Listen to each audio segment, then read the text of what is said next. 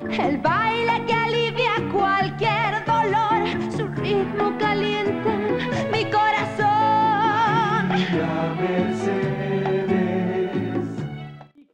La van a enfermar con tanto mortificarla y un día ella se va a casar, ya usted lo va a dejar aquí botado. No me importa. Pues ya verá que sus vecinos que vienen a llenarle la cabeza de cuentos no se le van a acercar con un plato de comida ni con los centavos para pagarle este cuarto. En último caso, tiene que hacer lo que su hija Meche diga, porque usted ya no sirve para nada. Mucho mejor es que se hubiera cuidado antes, hubiera trabajado y se hubiera ocupado de sus hijos. ¿Con qué moral puede reclamar? Para reclamar como padre hay que saber ser padre. Y usted se tiene que cambiar para donde su hija quiera. Ya que le dije todo lo que le tenía que decir, ahora haga lo que le dé su gana. Pero sabe una cosa, Meche se va a ir de aquí porque le conviene. Y si usted se quiere quedar aquí tirado como un perro, ese es asunto suyo. ¿Qué quieres? Pues vengo a devolverle la llave del DEPA. ¿Y eso? Pues nos pintamos de la vecindad.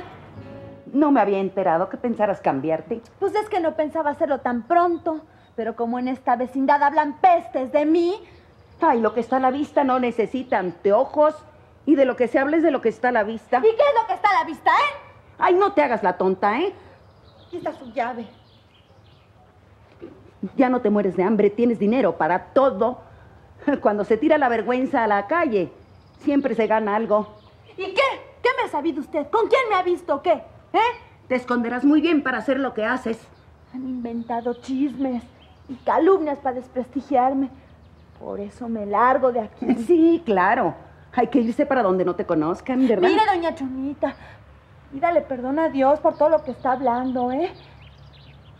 Porque la verdad la puede castigar bien, gacho. Sí, ¿cómo no? No vas a dejar tu nueva dirección por si te llegan cartas. Hijo, usted sabe que a nosotros no nos escribe nadie, doña Chonita. Bueno, bueno, si no quieres. Hija, pues adiós, doña Chonita, y que tenga suerte. Si vieras que tú la necesitas más que yo.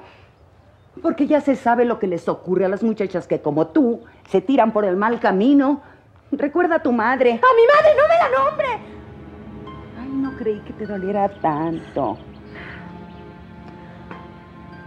Adiós, doña Chonita.